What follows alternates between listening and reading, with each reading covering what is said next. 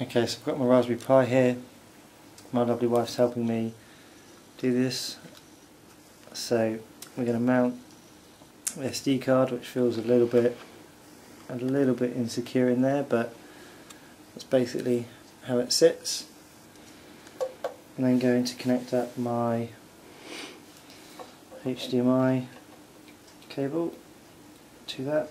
All feels a bit a bit unstable. And the last thing is going to use power cable from my mobile phone.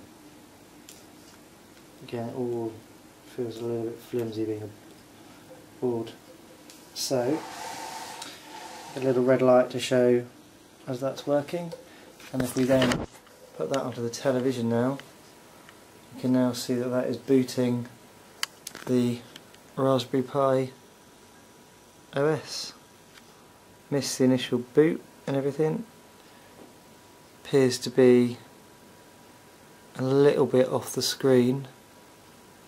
Um, but that is the basics of it working. So we'll let the rest of the system boot.